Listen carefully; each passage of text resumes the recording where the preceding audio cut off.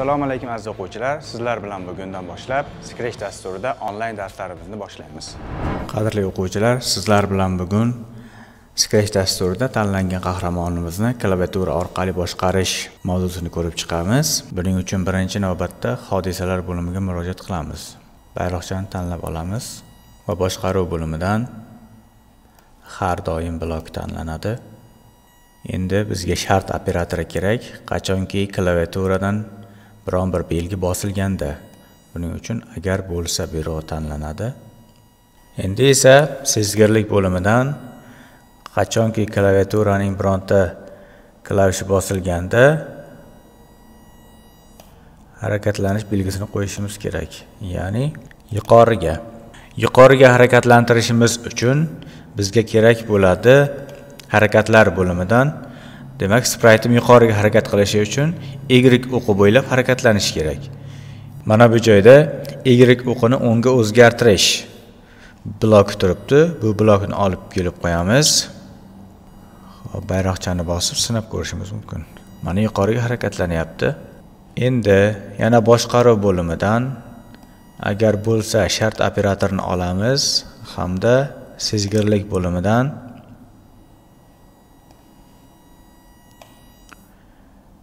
pastki klaviatura bosilganda ya'ni pastki ko'rsatkich bosilganda degan buyruqni tanlaymiz. Hamda harakatlar bo'limidan y y o'ngga o'zgartirish.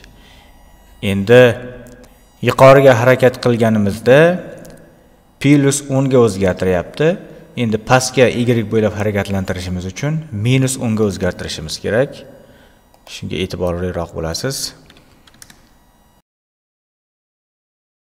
Endi o'ngga va chapga harakatlanishi uchun boshqaruv bo'limidan yana o'sha agar degan shartni olamiz hamda sezgirlik bo'limidan qachonki o'ng tugma bosilganda mana o'ng ko'rsatkich bosilganda endi biz gorizontal yo'nalishda o'zgartirishimiz kerak qahramonimizning harakatini. Buning uchun x bo'ylab olamiz. Ya'ni x bo'ylab unga o'zgartirish. Kelinglar shu narsani nusxalab olamiz. Mana buni chapga mana buni minus o'n qilib o'zgartiramiz. Endi bayroqchani bosamiz va natijani ko'ramiz. Mana chapga tepaga pastga o'ngga. Shu o'rinda aziz o'quvchilar sizlarga e, fonlar bilan ishlash to'g'risida ham aytib o'tmoqchiman. Buning uchun scratch dasturidagi Э, fonni tanlash bo'limi tanlanadi. Hamda u yerdan o'zingiz yoqtirgan fonni tanlab amallarni bajarishingiz mumkin. Birinchi fonim yana fon qo'shishim mumkin. Ikkinchi fonimiz yana qo'shib qo'yaylik. Mana. Jungli o'rmonlarni tanlab qo'yamiz. Spraytimizni klaviatura orqali boshqarganda qachonki chegaraga borganda boshqa fonga o'tish dasturini bajarib ko'ramiz. Buning uchun bizga dastlab kerak bo'ladi hodisalar bo'limidan qachonki bayroqcha bosilganda har doim agar chegara bo'lsa keyingi fonga o'tish buyrug'ini tanlashimiz kerak.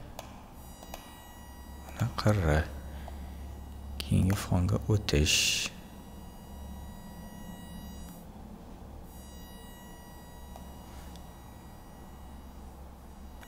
Va shu joyda qo'yib ketishimiz kerak. Bir sekund kutib turadi.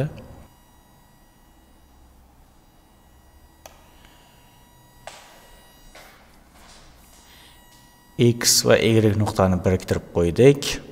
Demak bu blokning vazifasi spraytimiz qirraga tekkanda boshqa fonga o'tadi hamda boshqa fonimizning xuddi shu koordinatalarda hosil bo'ladi. Dasturimizni ishlatib ko'raylik. Boshqa fonimizda xuddi oldingi nuqtadan hosil bo'lyapti. Aziz o'quvchilar bugun sizlarga o'rgatmoqchi bo'lgan darsligimiz shundan iborat edi. Keyingi darsligimizda ko'rishguncha.